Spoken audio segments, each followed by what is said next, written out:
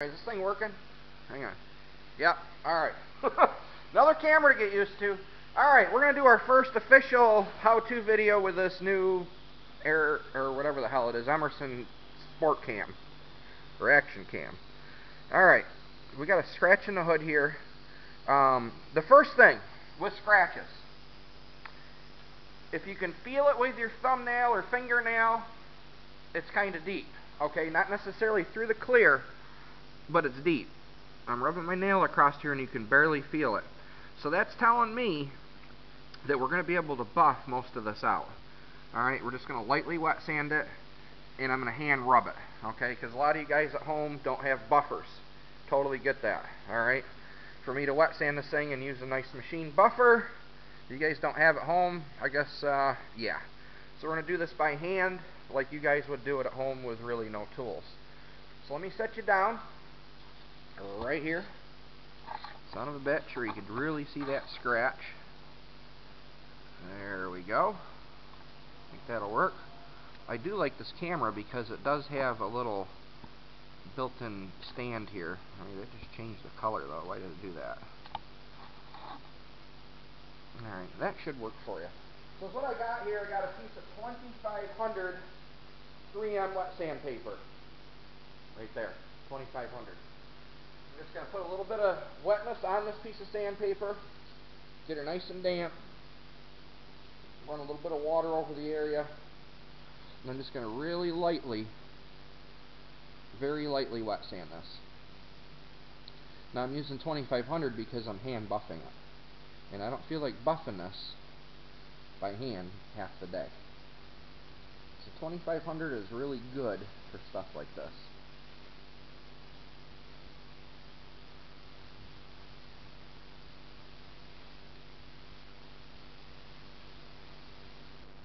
You don't want to concentrate on just a scratch, you kind of want to do the whole area.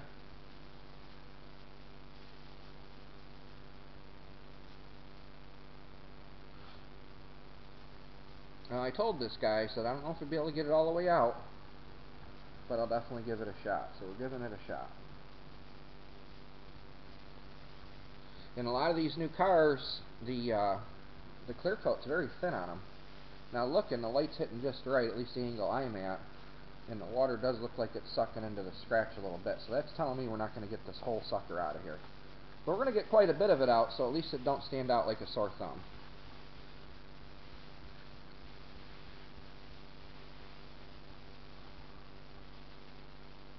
A lot of you guys that have newer cars, or even older cars, that uh, you don't want to pay somebody like me to paint your hood, and I can't blame you, because this work is not free.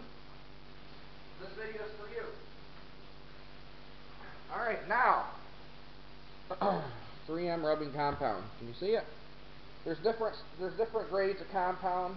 This one's like a medium grade. It seems to work pretty well. Now, it's all I'm doing is I'm just putting a little bit of this on a rag. Okay? And I'm just going to rub it in. You can go circular, you can go back and forth. It really don't matter. Alright, a lot of guys say it does. Maybe it does, but I just do whatever works. I don't know if it's picking up, but you can kind of see where I wet sanded this, this area here. It looks a little bit different. So that's really where we got to concentrate.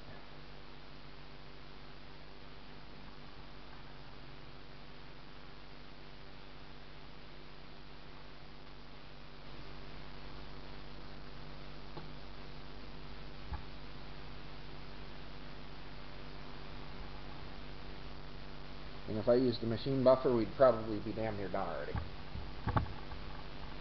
Go back and forth.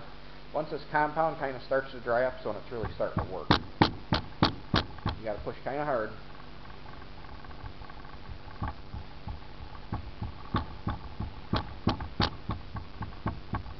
In metal.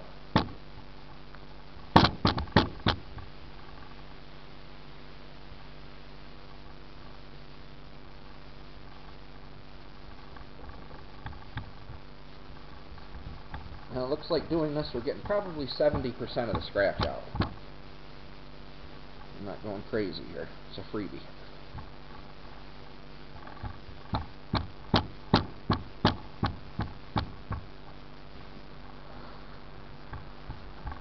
I probably can keep wet sanding it, but I don't know exactly how much clear is on this hood, and I don't want to chance wet sanding through it. Because if you sand through it, then you just opened up Pandora's box. You're going to have quite a mess. Not what I'm trying to do here.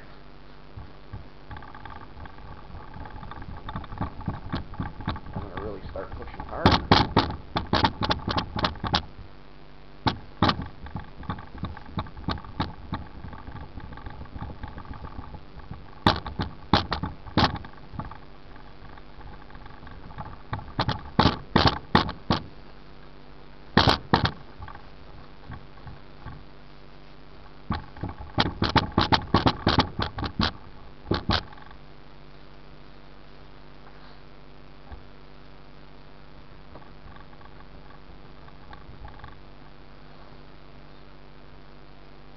A little more compound.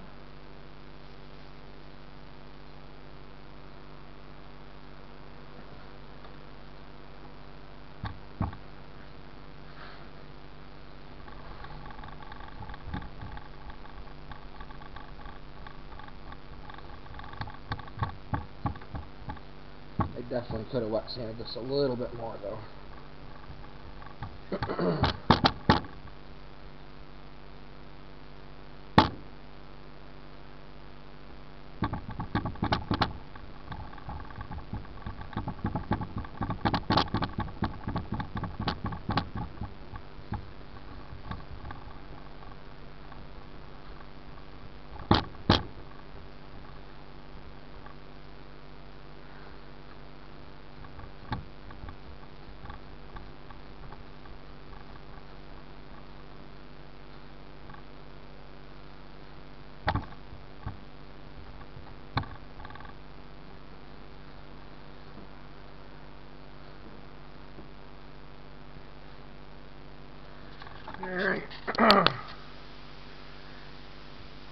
Big difference. You can still see it a little bit.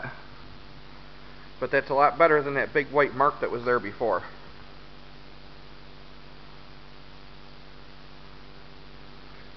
Then you can just go over it with the wax of your choice and be done with it. Son of a bitch. And like I said, if I use the machine buffer, it definitely would turn out a little bit better and a lot, little bit more of the scratch would come out. Like I said, this one I'm concentrating on for you guys at home that don't really have any tools. So there you are. Hope it was helpful. Y'all have a goody goody. I'm going to get this uploaded once the other video's uploaded. Later. Off. Nissan. Some bitch.